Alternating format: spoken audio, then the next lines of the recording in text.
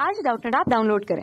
Doubtnut पर अपने सभी गणित, रसायन विज्ञान, भौतिक विज्ञान और जीव विज्ञान के डाउट्स का करो सफाया। बस प्रश्न की फ़ोटो खींचो, एक ही प्रश्न को क्रॉप करो और तुरंत वीडियो सोल्यूशन पाओ। अभी डाउनलोड करें। नमस्कार दोस्तों, स्वागत करता हूँ आप सभी का। आपका प्रश्न है, छप्पन द्रव्यमान संख्या वाले एक आयन पर धनावेश की तीन इकाई है और इसमें इलेक्ट्रॉन की तुलना में तीस दशमलव चार प्रतिशत न्यूट्रॉन अधिक है। तो इस आयन का प्रतीक लिखिए, ठीक है ना? तो आइए हम अपने प्रश्न के उत्तर को निकालते हैं, ठीक है? तो जैसा कि हमसे कह रहा था कि जो इलेक्ट्रॉनों की तुलना में है वह तीस दशमलव चार प्रतिशत न्यूट्रॉन अधिक है, ठीक है?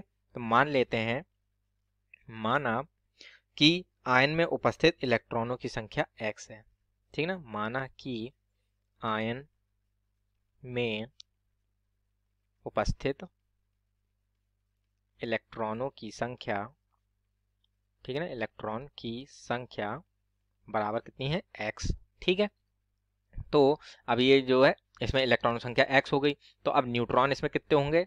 तो न्यूट्रॉन बराबर हमारे कितने हैं? जैसे कि प्रश्न में कह रहा था, तीस दशमलव चार प्रतिशत अधिक न्यूट्रॉन है इलेक्ट्रॉनों से।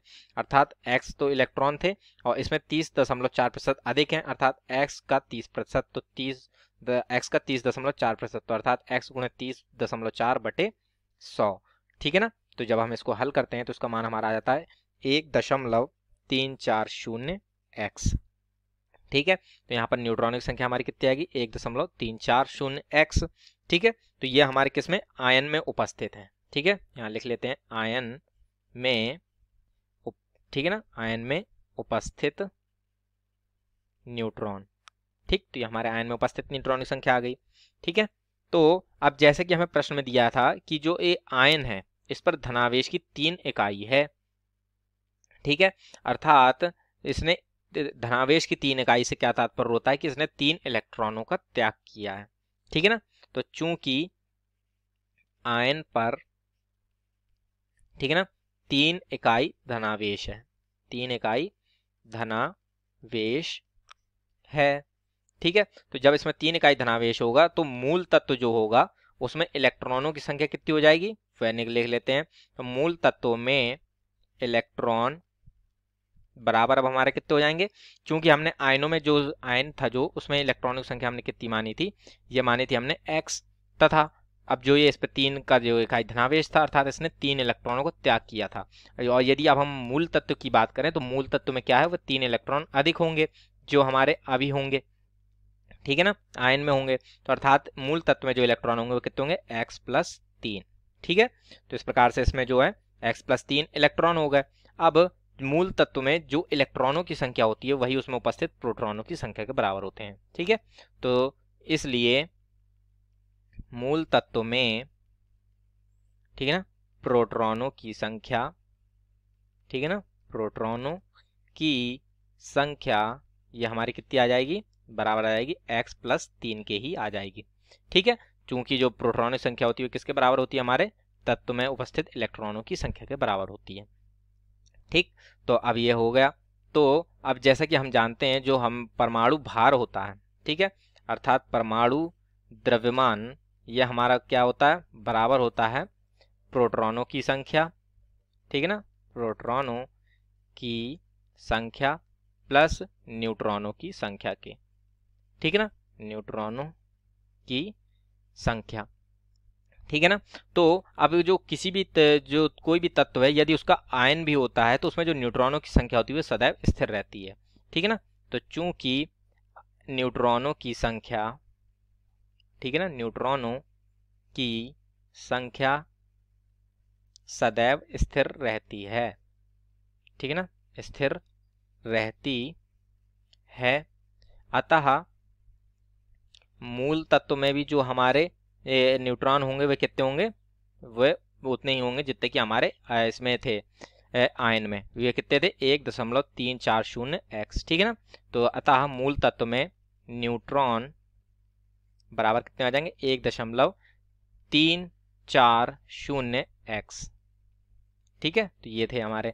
तो इस प्रकार से जो है, अब हम यहाँ पर इस संबंध का अपना प्रयोग करेंगे परमाणु द्रव्यमान बराबर प्रोटॉनों संख्या प्लस न्यूट्रॉनों की संख्या, ठीक है ना? तो परमाणु द्रव्यमान जैसे कि हमें यहाँ पर प्रश्न में दिया था छप्पन, ठीक है ना? छप्पन हमें परमाणु द्रव्यमान दिया, अर्थात द्रव्यमान संख्या डी है, ठीक है? तो ये हमारा छप्पन बराबर प्रोटॉनों की संख्या हमारी कितनी है? एक्स प्लस तीन है, ठीक है? प्लस अब न्यूट्रॉनों की संख्या कितनी है? एक दशमलव तीन चार शून्य एक्स ठीक है ना? तो इस प्रकार से है। तो अब इसको जो है, जरा हम इसको हल करते हैं। तो यहाँ पर हमारा कितना आ जाएगा? दो दशमलव तीन चार शून्य एक्स बराबर तिरपन, ठीक है ना? तो अतः यहाँ से x का मान हमारा कितना आएगा? तिरपन बटे दो दशमलव तीन चार शून्य। तो जब हम इसको हल करते हैं तो यहाँ से हमारा x का मान जो है वह निकल आता है तेईस, ठीक है? तो इस प्रकार से ये हमारा x का मान जो है वो कितना आ गया? तेईस, ठीक है ना? तो अब जो है हम इसमें जो है अपने तत्व की पहचान करते हैं, ठीक है ना? तो जब इसमें एक्स का मान जो है वो तेईस है तो प्रोटॉन अब हमारे कितने हो जाएँगे? प्रोटॉन बराबर हमारे कितने थे? मूल तत्व में x प्लस तीन। ठीक है ना? प्रोटॉन की संख्या कितनी थी? x प्लस तीन। अतः यहाँ पर प्रोटॉन कितने होगा? तेईस प्लस तीन, अर्थात छब्बीस। ठीक है? और चूँकि जो प्रोटॉन होते हैं, वे हमारे बराबर होते हैं परमाणु क्रमांक के। ठीक है ना? अर्थात प्रोटॉनों की जो संख्या होती है, वो परमाणु क्रमांक को प्रदर्शित करती है। ठीक? तो यहाँ पर हमारा परमाणु क्रमांक कितना हो जाएगा? 26 ठीक है? तो इस प्रकार से ये जो 26 परमाणु क्रमांक होगा, वही हमारे तत्व को का जो परमाणु क्रमांक होगा। ठीक है?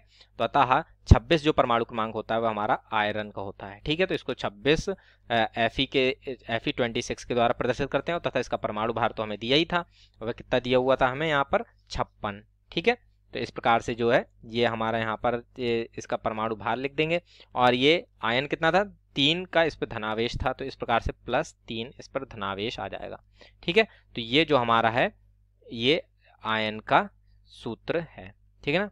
आयन का प्रतीक बराबर हमारा कितना आ जाता है? एफ़ ई ट्वेंटी सिक्स इसका परमाणु क्रमांक फिफ्टी सिक्स इसका परमाणु भार प्लस तीन इसका, इस पर उपस्थित तीन का इकाई धनावेश।